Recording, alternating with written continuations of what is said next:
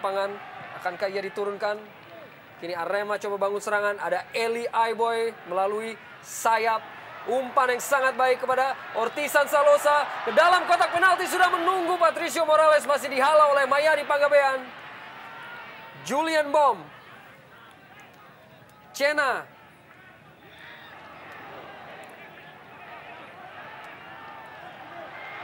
Dan kini kembali melalui sayap Ortisan Solosa ke dalam kotak penalti. Duel antara Markus dan Emil Mamba. Tampak wasit menghadiahkan pelanggaran kepada Arema Malang ataupun kepada PSMS Medan. Mas Ferry Kasim tampak bersiap-siap untuk masuk menggantikan salah satu pemain. Tampaknya Supardi yang ditarik keluar untuk kembali Mas Ferry Kasim bermain.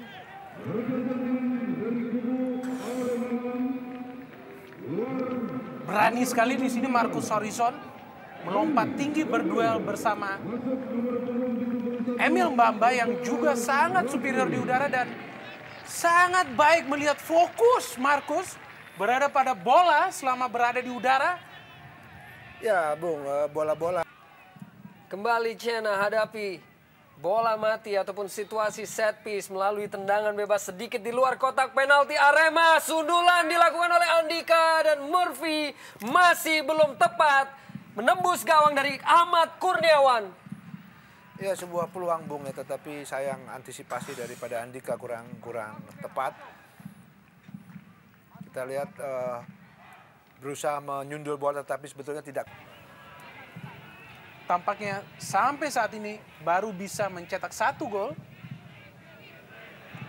Dan apabila skor di Stadion Gelora 10 November yaitu 0-0 antara Sriwijaya dan Persiwa Wamena terus bertahan, Arema hanya membutuhkan satu gol lagi untuk dapat lolos ke babak semifinal. Akankah mereka sanggup untuk memenuhi target ataupun ambisi tersebut? Satu gol yang tentunya tidak mudah untuk dapat diraih melawan tim sekelas PSMS Medan. Roni Firmansyah kini kembangkan permainan Arema melalui umpan panjang ke dalam kotak penalti. Tidak ada keputusan dari wasit.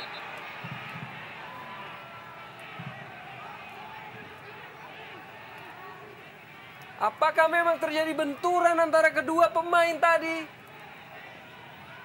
Namun wasit Yesaya itu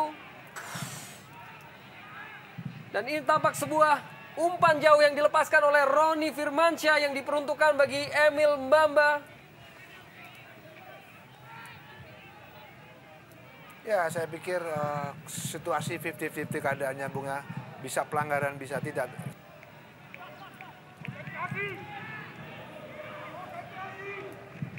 Patricio Morales merupakan salah seorang pemain yang memiliki kemampuan untuk mengeksekusi tendangan bebas dan sudah mencetak beberapa gol.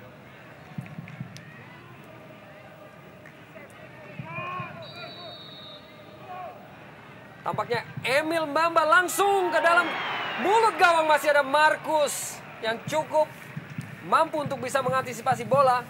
Hampir saja sebuah gol bagi Arema dan kita melihat kepentingan bagi Arema untuk mencetak gol membuat para pemainnya seperti mencoba segala bentuk serangan dan kali ini sebuah tendangan jarak jauh dari Emil dan beruntung bagi Markus ia menangkap bola setelah menepis bola tersebut.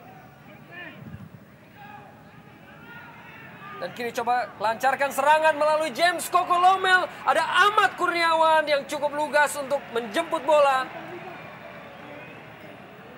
Dan tampak Suroso seperti mengalami kram. Dan kembali kami sampaikan bahwa apabila pertandingan di Surabaya antara Sriwijaya FC melawan Persiwa Wamena berakhir dengan skor tanpa gol, tentu Arema Sakti memegang bola justru uh, siapa pun itu di belakang tentunya akan mencoba menjegal, mencoba menghentikannya.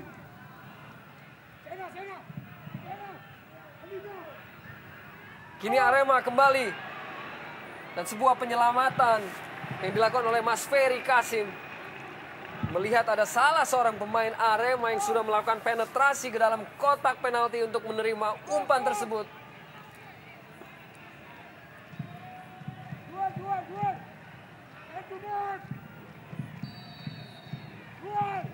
Roni Firmansyah, Markus Horizon dengan cukup lugas, potong bola ataupun umpan dari Roni Firmansyah tadi.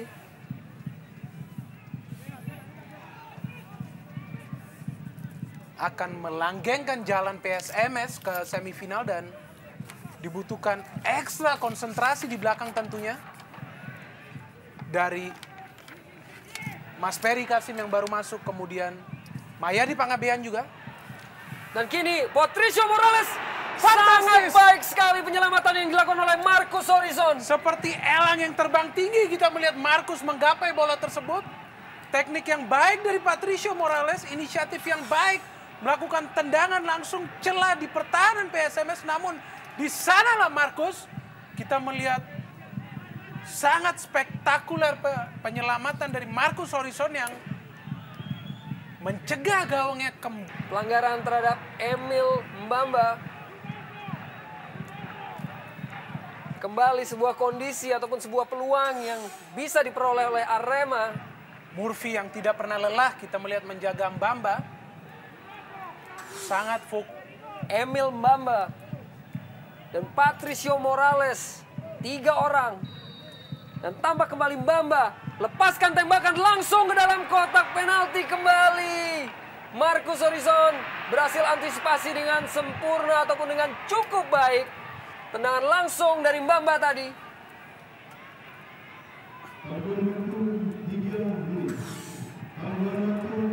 Untuk kali kedua, Emil Mama melepaskan tembakan bebas ke mulut gawang dari Markus yang kembali dapat diselamatkan.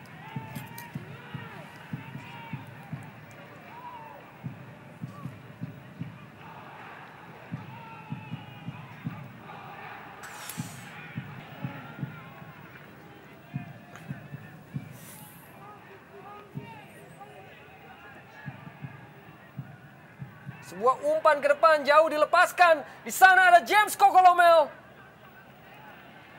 Suroso cukup cermat dan buang bola.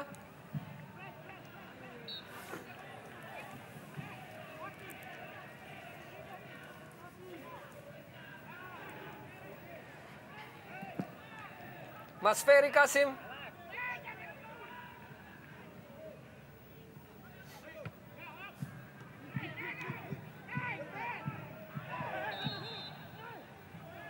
Benturan antara Akbar Rashid dan Mas Ferry Kasim.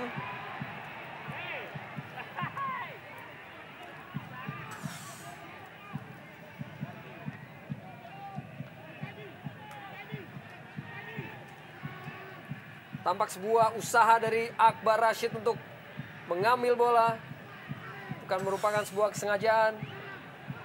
Dan tampaknya memang dan masih juga 0-0 kedudukan di Surabaya antara Sriwijaya FC dan Persiwa Wamena di mana kini Arema hanya membutuhkan satu gol lagi untuk dapat lolos ke babak semifinal. Dilakukan sebuah tendangan. Markus kembali dengan cermat potong bola. Masih belum berhasil Bruno Kasmir untuk dapat menambah gol. Sangat kesal tampaknya para pemain Arema dengan aksi Markus setelah kemasukan satu gol.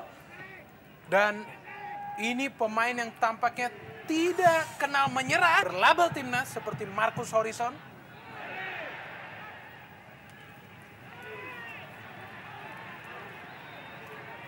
Ya dan tampaknya ini merupakan peluang terakhir. Dan wasit Yesaya Sleh itu sudah meniup peluit tanda berakhirnya pertandingan antara PSMS Medan melawan Arema Malang dengan skor akhir 1-0 di mana